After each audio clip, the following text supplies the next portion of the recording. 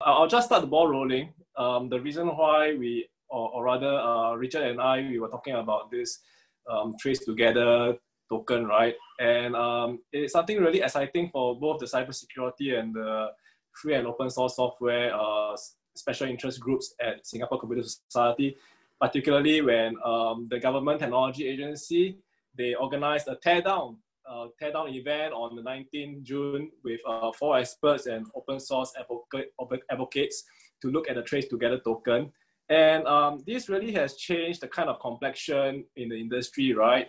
When cybersecurity and open source seems to be different topics, uh, but um, because of this COVID situation, we have seen a confluence of these two um, very interesting areas come together in a very um, good and um, well, it's, a good way to address cybersecurity, but also to actually address the, the, the concept of trust, the trust in technology and uh, the trust that people have in the technologies that we are rolling out because of this new normal, this situation. So today, uh, I, am very happy to be able to be in the midst of experts uh, and uh, I'll just quickly go run through uh, some of this, uh, well, to introduce them. Um, Matthias Yeo is the uh, also a member of the cybersecurity chapter in Singapore Computer Society. He's the co-founder and uh, chief operating officer of uh, Momentum Z. I hope I got that right. Momentum Z, uh, a company in Singapore. And uh, our esteemed panelists, of course, uh, I'll start with Richard. Richard Koh is the chairman of the FOSS. FOSS stands for Free and Open Source Software.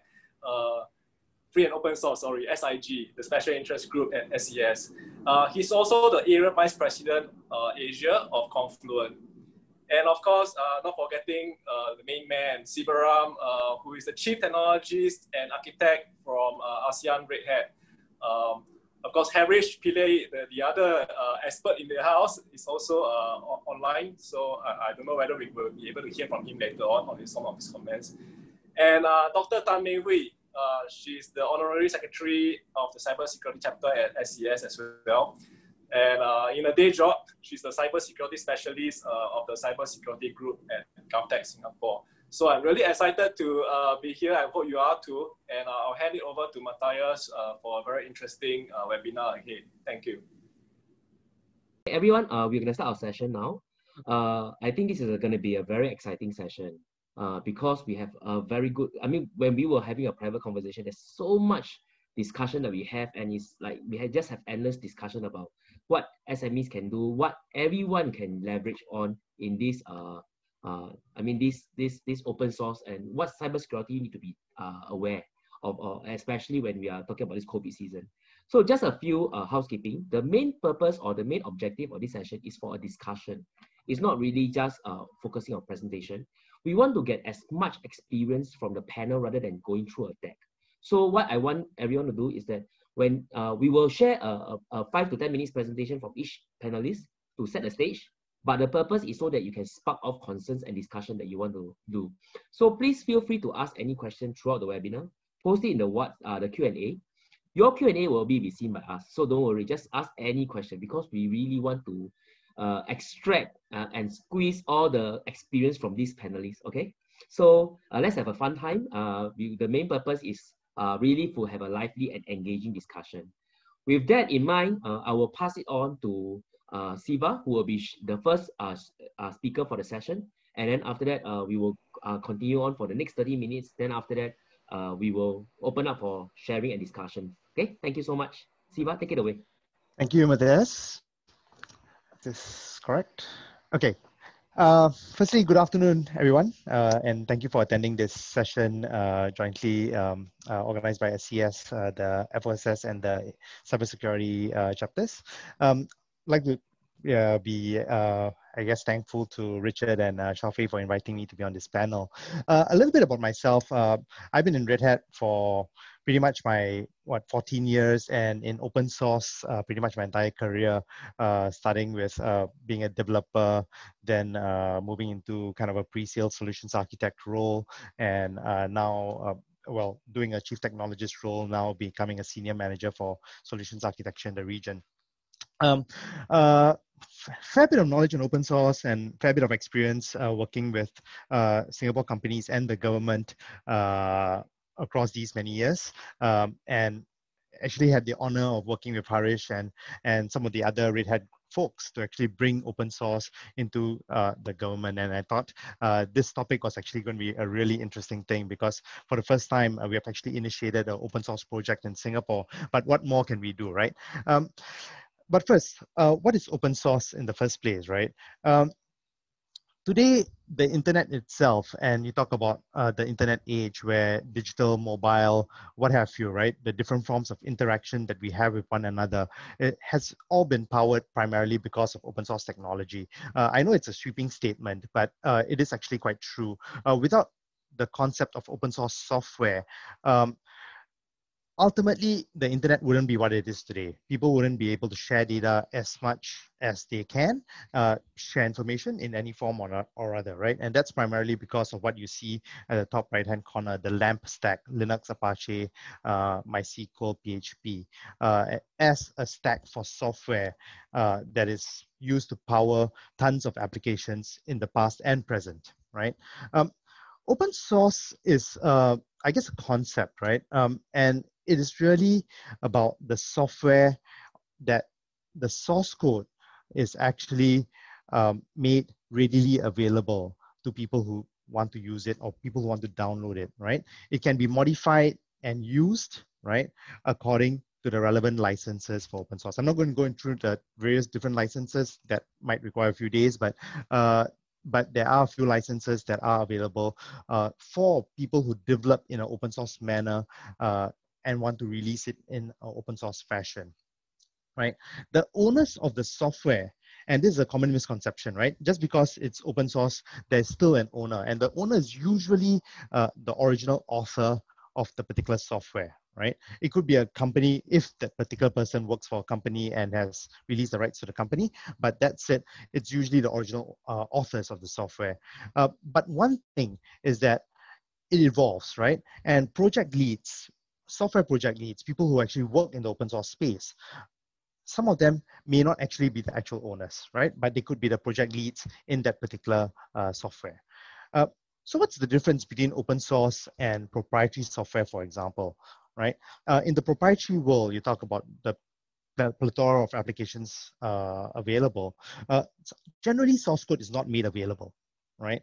Um, and source code is not owned or it's owned by the vendor and the vendor only, right? No one else can see the source code. Why? What does this mean to us, right? Why should we care? Um, ultimately, what open source enables is that today if I want to create a project, let's say, for example, to address some specific issue uh, with COVID, right? I want to actually release it as open source so that potentially I can get a lot more people on board to help develop that software, not just necessarily for my own company. I if my software is attractive enough, I can attract people from other companies or individuals, anyone, right, uh, to actually co-develop that software. This means that projects can be released faster. More features can be released to the market faster, right, via the project. Um, and also, um, I can actually in, inspect and contribute to the software. What do I mean by inspect? Uh, there's a lot of concern with security and open source, right? And if you are a developer, uh, I can actually read the source code to examine it for potential security flaws and what have you, right? Granted that most of us don't, but we have the ability to do so. And the fact that, you know, people like, you know, Google, Red Hat, IBM, um, even Microsoft today, uh, they actually have security teams looking at open source software to identify potential bugs that can be then addressed and released in a uh, released faster, right? Uh, ultimately, all this really leads to faster innovation, right? You talk about the digital world, right? Um, and first to market usually wins. Um, the faster the innovation, the faster I can release features to the market, the faster I can actually attract my consumer. Yeah. Um, ultimately, from a security standpoint, um, the concept of open source, right? Uh, I can actually identify vulnerabilities easier. And the identification of vulnerabilities is not limited to me, and the rectification is not related uh, is not limited to me or my company. It's actually anyone and anyone can actually rectify it and release that piece of code uh, to the project which will then be accepted. Uh, it's not limited to the vendor per se. And that's really the power of open source um, that uh, the or should I say the open source development model.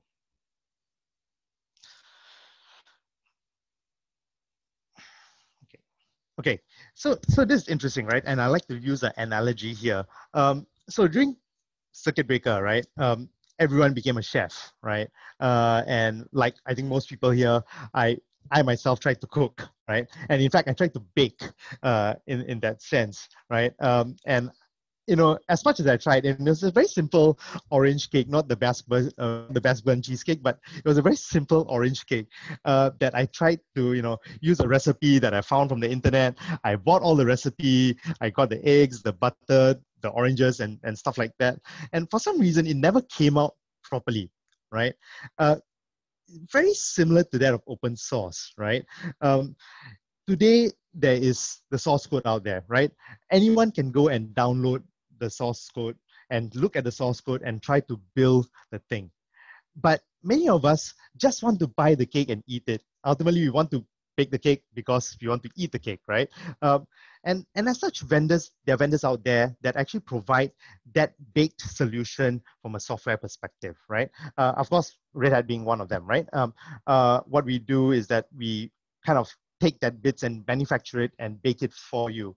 Uh, it's like akin to drinking water from the reservoir, right? Uh, any of us can go to the reservoir, MacRitchie or wherever. We can go there, take a glass, take up the water and drink, right? But what will happen? Uh, has it been treated and stuff like that? You don't know, right? And you bear the risk. Um, similarly with open source, right? Um, you know, just blindly taking software from the internet, uh, for example, and just consuming it like that, you don't really understand the risk uh, behind doing so unless you really do that in introspection of source code and stuff like that. Um, that's it. You buy mineral water, right? Mineral water from Evian or Ice Mountain or what have you, right? And you drink it. And that gives you, I guess, a form of uh, assurance that I'm actually drinking treated water. I can it's actually safe for me to drink. Uh, and that vendor who provides that mineral water gives me that assurance, right? Um, and this is a very important concept when it comes to open source, right? Uh, we release open source software. When a developer releases open source software uh, to the general public, he releases it as a project right? And I want to emphasize that it's actually a project. What this means is that the developer is actually being the author of the project or the owner of the project. He releases that source code onto the various sharing mechanisms, whether it's GitHub or whatever, right? Um, and he participates in the active development of that project in the open source space, right? This, if someone else from a company or some other uh, organization, some other country, uh, they like what they see and they want to actively contribute towards it as well. They are able to latch on to the project, develop additional features, and potentially contribute it back to the original project, right? Or they could also potentially fork the project and create their own version of that project. That's perfectly possible in open source as well, right? Um, and ultimately, what this means is that generally when you want to release a product, as in that Ice Mountain bottle, that Evian bottle, or what have you, right? You have to add a few more components to it to make sure that it's actually consumable uh, by commercial users, right? And as such, there needs to be a lot of integration testing of potentially various different components to make that particular software work properly, right? And ultimately, what the vendor provides are really products, right, that are stabilized for commercial usage. And that can be attributed to liability, right? That means the vendor himself is liable for the software that they ship to the customer. Uh, and the customer can then rely on that piece of code to make sure that I'm safe, my business is safe. If there's a bug, the vendor will be responsible and accountable for the bug fix or the security fix or what have you, right? So that's kind of in relation to what a product is. And we shouldn't confuse a project and a product, right? Just because a software is available as a project on the internet does not mean that it's directly consumable from an enterprise perspective. You can, once again, it's possible, uh, but that said, you need to understand the risks behind doing so, right? And that's where their vendors, uh, once again, Confluent, Red Hat as two examples, but there are many other vendors out there who provide commercial support to open source software. okay, some misconception on open source, right? And and uh, I always like to uh, go through this. Uh, many people have this misconception that number one, open source means free software. Yes and no, right? Open source means the source code is actually free, as in freedom, right? Uh, versus free as in cost, right? Um, generally, open source software, you can get the source code for free, right? Generally speaking, not all the time, but depending on the license. But that said, It's more about the freedom to actually use the software in the way that you want to use it, right? The freedom to actually co-develop the software or contribute back to the software um, features that you want, right? And that's how, you know, tools like or software like Linux, for example, OpenStack, today the biggest flavor of the month uh, would be Kubernetes, right? Uh, container orchestration solution. That's all purely open source. And it wouldn't be that today without the massive amount of contribution, not just from Google, who actually owns the project, uh, but from people like Red Hat, from people like uh, Microsoft, from people like uh, VMware, for example, right? Um, all of these people or organizations have actively contributed to various open source projects, right? And they then productize their own versions of that software. Uh, so does it mean it's free? Yes and no, right? Some open source software is free. If you want a community version, you just pick up something from the internet, download it, and use it. Perfectly fine, perfectly possible. Understand the risks. If you want something that you want to feel safe, I want to attribute the risk to someone else or the liability to someone else. That's where the vendors come in, buy the open source product uh, that these guys ship, right? Um, and the costs usually are associated with products, but costs can also be associated with projects as well in terms of the engineering effort that you'll need to put in to mitigate the risk that you're absorbing within the organization, right? Another misconception, do I only deploy open source software on open source software? No, right? You can deploy non-open source or proprietary software on open source software as well, right? There are many examples out there. SAP uh, is one big example, Oracle another example. All of their platforms run on open source solutions like Linux uh, as an example. It does not mean that if I want to use open source platforms like Linux, Kubernetes, so on and so, uh, so forth, right? I need to open source my software. No, it does not mean that, right? You can if you want to, but you don't have to, right? Um, the one thing about consuming open source software is that depending on the open source license, right? If you do make change to the source code, right, uh, you might need to attribute those changes back into the open source community in that particular project. You might need to do that if you change the source code. But if you don't change the source code, you just take it, compile it, run it, then no, you don't have to do that, right? Um, and the last one, I guess, is a big topic uh, uh, of today's session is open source safe, right? And and this is very interesting because uh, uh, I always enjoy this particular story, right? Uh, and this was when I first joined Red Hat, and I was doing a executive brief uh, at an event for another vendor, and Red Hat was a partner in, to that vendor. Um, and I was doing this event, and this guy came up, and I was talking about Linux and how open source and Linux you know was the way to go. This once again this was 14 years ago. Uh, and this guy came up and he actually said this one thing uh, no but open source is insecure. How can we use it right? Even if you buy it from red hat uh, it's still insecure. Everyone can look at the source code. I'm like isn't the whole point security by transparency uh, more important right? You actually see what you get right versus something that you don't see and you don't know what's inside but guess what? The internet has all the holes and you can't even fix it, right? Um, you talk about security by transparency versus security by obscurity. Uh, security by transparency almost always wins because there are more eyes looking at the software to actually make the software more secure. Once again, all software contain bugs, right? That's that's clear. There's there's no such thing as a perfect piece of software. Uh, maybe in some, you know, utopian world there is, but in reality, most software or all software, I would say, probably contain one bug or another, right? It's really how these bugs are identified and addressed, uh, and that's what counts. Uh, the vendors, once again, uh, like what I explained earlier, they take the accountability for open source software, right? Whether it's a large software, small software, but they take the accountability to actually address those security issues and bugs, right? And they should be held accountable for it.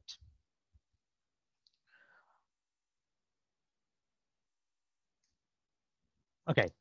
Um, there's been a lot of talk of trace together, right? And and I think uh, it really, to quote uh, a certain um, a member of uh, well now a certain MP, it warms the cockles of my heart uh, to see that the Singapore government uh, uh, actually did awesome initiative to release the Blue Trace protocol um, and basically trace together the app uh, for contact tracing, right, uh, as an open source project. Uh, it was something that was very, very impressive. And it was something that uh, I felt that, well, it's a po extremely positive step uh, that what the government did, right? Releasing it uh, for the greater good of, of mankind worldwide, right? And truth to be said, more than 50 countries were actually expressing interest to use the app or download the app and use it uh, and source code. And actually, people like Australia, New Zealand, and even the Czech Republic have actually launched it in production, which is actually a pretty cool testament to the open source model in the first place, right? Um, the real impact, right, uh, of open source in this open source and security in this particular project, right, in the Blue, Blue Trace project, um, is that number one, these countries, right, had faster releases. They didn't have to develop from scratch, right? They just took the code and they ran with it. So for them to release it to market was very, very quick. That's one. Number two, transparent code releases. If the code release was the code release was transparent and as such, people could examine it from a security point of view, right? And to make sure that you know people are not being tracked and stuff like that. Um, and once again, this would reassure from a privacy angle, right? What uh, the entire thing, uh, what the software is, right? I'm assured that you know I'm not being tracked. I'm it gives me that sort of reassurance, even though I cannot read the source code as a citizen, right? And maybe I'm not equipped to read the source code. But if you talk about other people who have actually examined the source code and they validate that it is actually independent, their independent validation, right? That it's actually safe. Uh, that actually reassures a lot of the people as well, right? And of course, there's no own self-check, own self-check, uh, or no, no own self-check, own self uh, mentality here, right? Uh, which of course is a important thing. Um, of course, what can be improved, right? Um, I think while we did an awesome job of releasing this in an open source manner, what I personally think is that if development of Trace Together continued in the open source space, right? We could have actually harnessed active collaboration from other countries and other agencies uh, to actually innovate better features, better traceability, better accountability, better security, right? And I know for a fact that uh, there are multiple agencies worldwide, uh, including some uh, prestigious universities uh, in the US that are willing to collaborate uh, with uh, Singapore on this, which would, be, which would be really, really great, right? as is Trace Together was only open sourced for its initial version and and that's an interesting thing, right? Uh, follow on, the development happened uh, behind closed doors, and it was not contributed back. But that said, we are hoping that this will change, and oh, I, at least I'm hoping that this personally this will change and actually help uh, uh in terms of um, putting it back contribution back into the open source space so that we can actually genuinely form a global community to actually develop the software together and that is something that I would really look forward to, right? Um, uh, once again, the benefits of this we have already seen once, but I think we can continue to harness this uh, benefit uh, for uh, the greater good uh, of society, right? Um, and once again, we get the benefits as well.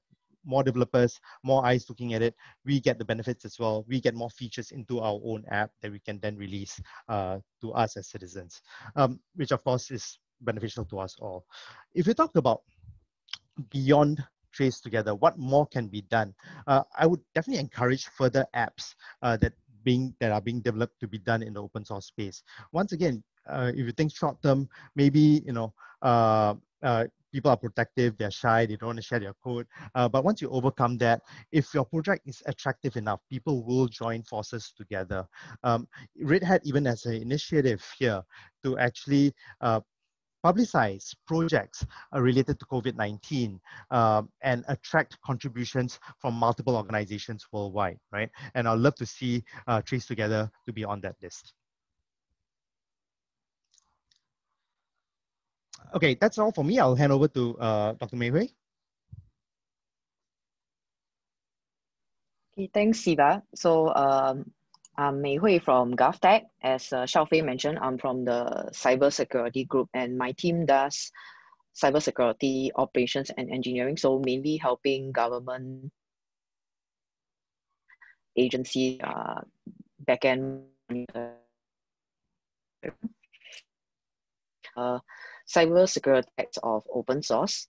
And for some of the points, I think Siva highlighted are quite important for us to take note, which is that the main benefit, of course, of open source is that there's a lot of open collaboration because there's large group of expertise from all over the world, not just from the main team that's developing the code. They are contributing back to this ecosystem. So in terms of the maintenance of the code, if there's any security issues that are spotted, of course, it can be very quickly validated and also identified and fixed. And uh, as compared to if you are talking about the converse is that closed source, so um, closed source could be slower depending on which vendor you use or also the nature of the code and the software you're using.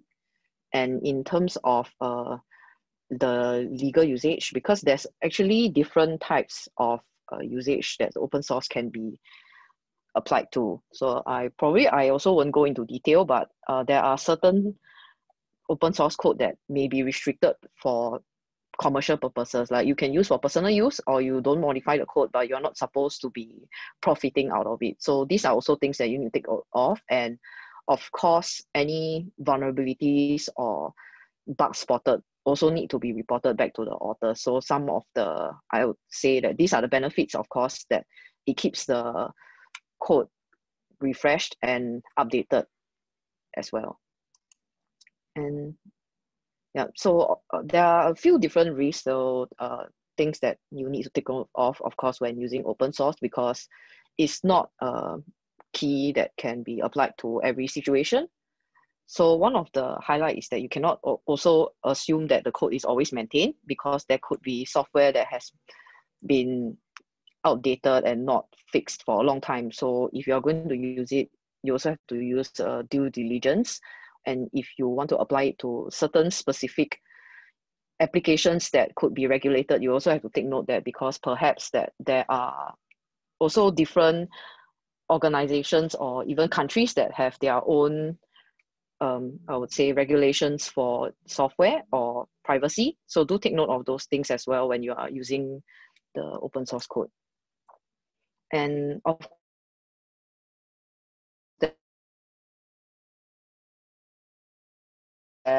uh, components that the component any security flaw updated of course may not be kind of in a sense updated as quickly or it may be updated in another module. So due diligence is also required when you are using code and also you need to upkeep some of the software yourself. And the third point I'd like highlight is that there may not be documentation available that readily. So this, of course, is dependent on what open source code you use. Like for some of the very well-established software, like um, an example I'll give is Firefox. So in and the documentations are available, and if you are developing add-ons to it, it's very seamless and you can just be on your own and contribute back. So give and take, of course, it depends on the application. And if you are using it for more commercial purpose, then there are much more to take note of, of course, because of, especially if you are transmitting or holding a lot of data. Yeah, so yeah, so some of the tips that I think we would cover also during the later part of our session so definitely please use your code with due diligence because more sensitive and critical application, you still need an internal security team. So it's not that uh, I would say that you can rely totally on the open source community to fix every bug or every flaw that's available because uh, one, it may not be picked up quickly or if you discover it yourself, you can also contribute back to the community. and uh, maintenance of code is something that we should always do uh, from an engineering perspective, of course, because uh, even for any code that is being developed by vendors or internally, if it's outdated and not fixed, definitely there will be things that need to be changed and also be kept up. And for uh, as I came, I actually came from uh, IT and security audit background. So uh, to me, one of the highlight is that uh, actually internal record and log of code version, any changes used uh, that is being made to your software should be actually recorded quite uh, diligently because even in terms of software that is being updated by external means because this could contribute back to some of the uh, in in future if there's any audit issues these are actually very very important documentation so uh, of course do take note if you are using all these and uh, definitely from my perspective, I would suggest that, uh, as Siva mentioned, there are actually companies that use open source and help you to you know maintain and and apply the code into a completed product. So that could be a more feasible route for certain applications. But this, of course, doesn't guarantee that the the whole thing would be in the sense free. So only the code and the software part will be free, but any maintenance and updates would still contribute to a cost. So there's a bit of a give and take. Yeah. So I would now um, like to over the time much more on uh, some of the talking points. Yep. Um, thanks, Mei Hui. Right. Good afternoon, everyone. This is Richard. I hope you can all hear me fine. Um, uh, first of all, I'd like to thank Xiaofei and Matthias for inviting me to be, you know, uh, joining this session as well as part of the panelists. Um, I've I spent quite a fair bit of time, you know, um, having worked in Red Hats for the uh, you know for eight years, uh, looking at how open source actually changed, you know, in terms of uh, the landscape within the enterprises, right? So I would like to talk a little bit more in terms of what is the state of open source adoption, right, uh, in this part of the world and also globally, yeah. Okay, first and foremost, I think in the recent years, you know, as many of you would have witnessed, right, um, there's very strong adoption, right, of cloud as well as open source technologies in the enterprises. I would like to argue that, you know, these two are the key technologies that's is sort of like a game changer, right, for the enterprise in terms of how they actually try to make use of um, technologies to deliver even greater value to the business, right? To make it more agile, to help this business to drive uh, digital transformation. And uh, the, the reason is very simple, right? So if you look at the cloud, right? So basically what the cloud does is to simplify the consumption of technology, right? Uh, previously, you know, if you work in large enterprises in the IT, you will realize that it takes months and months before you can actually roll out new projects, right? So first you have to order the hardware, which takes like weeks and months uh, for delivery. And then you have to be involved in lengthy commercial negotiation with your partners and vendors just to make sure that, you know, um, you can actually uh, roll out this project uh, quickly, yeah? Uh, but that has changed, right? Uh, with the introduction of cloud, right? Uh, be it infrastructure as a service or software as a service, right? All that people needs, uh, in fact, the project team needs is basically to go to the cloud service, open an account, maybe plug in their credit cards and start trying out different technologies. So this has uh, really reduced the kind of friction in terms of allowing people to try out different set of technologies and make a, a better informed decision, right, before they actually uh, uh, invest in a longer term commitment. So that is really changing the landscape quite a fair bit. And in a similar fashion, if you look at open source, right, basically what open source does is to make innovation truly accessible to everyone, right? When I say everyone, it, it literally means it, right? Um, it's unlike the traditional way in which software was being built proprietary, right? So um, only a few vendors control this technology.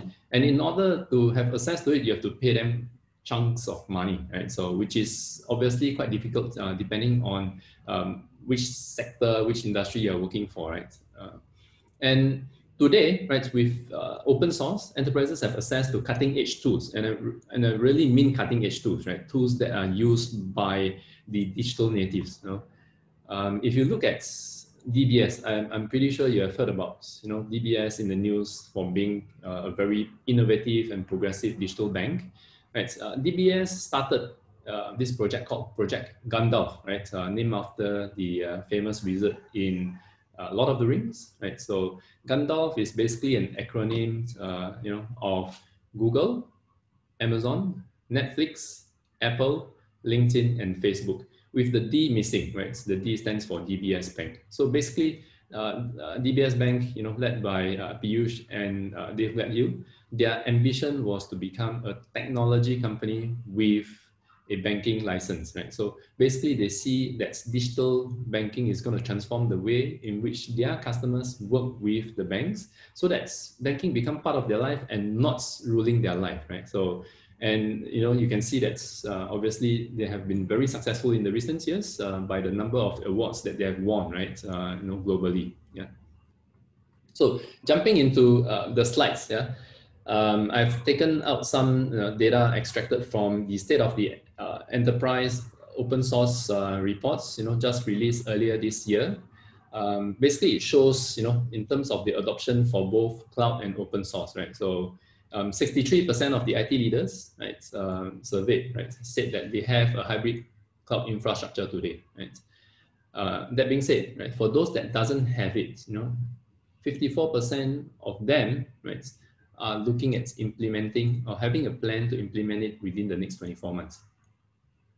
Okay. On the right hand side, you'll see that 83% of IT leaders says enterprise open source has been instrumental in their organization's ability to take advantage of cloud architecture. So, you know, you, you can see from here that there's actually a strong correlation between open source and the cloud. And in the near future, right, uh, these two set of technology will continue to grow, you know, hand in hand. Yeah.